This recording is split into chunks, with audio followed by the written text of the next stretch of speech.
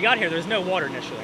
Um, and by the time we got about halfway to the shell, that's probably about 150 meters from where we are right now, the water started to come up out of nowhere, uh, essentially like a flash flood. Initially, there's only one foot of water. Then there's two feet of water, three, four, five feet of water. At that point, the engine seized up, and I was telling Anna, hey, put down the windows, hop out, I want you to get to safety. The red car that went past me after the CRV, uh, which you see right here, started to actually float. We see a truck going against the current, trying to tell them to get out. They got stuck.